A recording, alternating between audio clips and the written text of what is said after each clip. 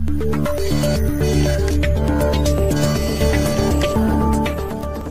keterangan yang diberikan oleh saudara Idi Dalil, keterangan palsu semua. Nah, itu nanti kita serahkan di pihak untuk selesai. Karena dasar dia ini sehingga jaksa ambil keputusan.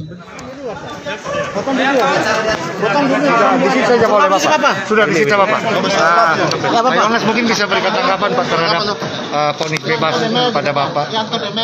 Jadi pertama Tuhan Yesus yang bebaskan saya melalui Yesus hati. Nah, dia jujur sesuai fakta persidangan. Itu pertama.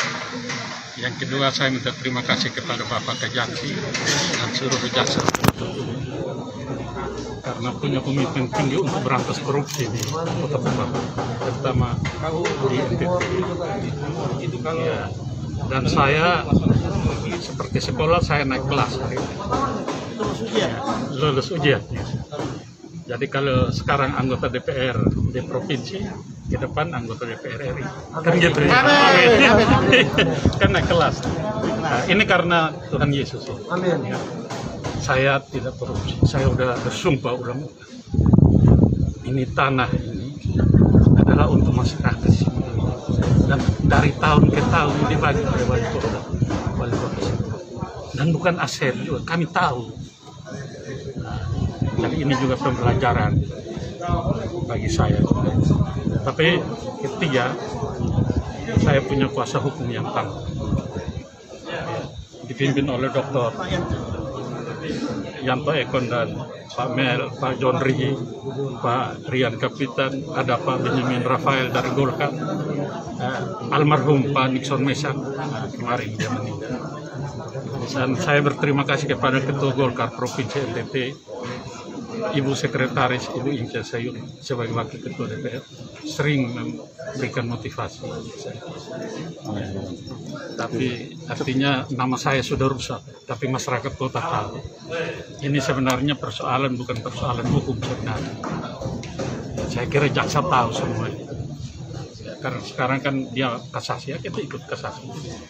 Ya, nanti di PH saya ini bukan persoalan hukum karena jelas ya, pengertian barang milik daerah barang yang dibeli dari beban APBD dan perolehan lain yang sah kalau ada beda pendapat di hakim itu wajar loh. nah ini barang kapling ini kan 77 hektar ini ibu kota kota Kupang di sini. Kalau disita semua bubarlah ibu kota kota Kupang. Kan gitu. Tujuan tujuan. Nah jaksa tidak ngerti itu. Ya bayangkan aja tanah segini luas ini. Nah ribuan orang sudah di atas terus ada kantor pemerintahan.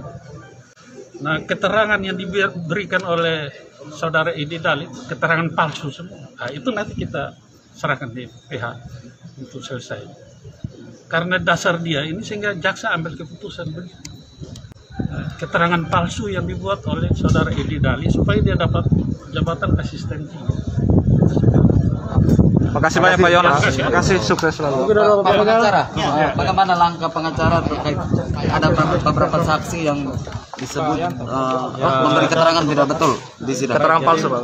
Pertama kami selaku tim penasihat hukum juga tentu bersyukur ya kepada Tuhan karena sudah memberikan hikmat dan kekuatan kepada dua hakim majelis hakim untuk menjatuhkan putusan sesuai dengan hukum dan fakta. jaksa ambil keputusan keterangan palsu yang dibuat oleh saudara Edi Dali supaya dia dapat jabatan asisten Makasih banyak Pak Yones. Terima kasih sukses selalu. Pak pengacara, bagaimana langkah pengacara terkait ada beberapa saksi yang disebut eh, memberi keterangan tidak betul di sidang. Keterangan palsu Pak. Eh, Pertama kami selaku tim penasihat hukum juga tentu bersyukur ya kepada Tuhan karena sudah memberikan hikmat dan kekuatan kepada dua hakim, majelis hakim untuk menjatuhkan putusan sesuai dengan hukum dan fakta.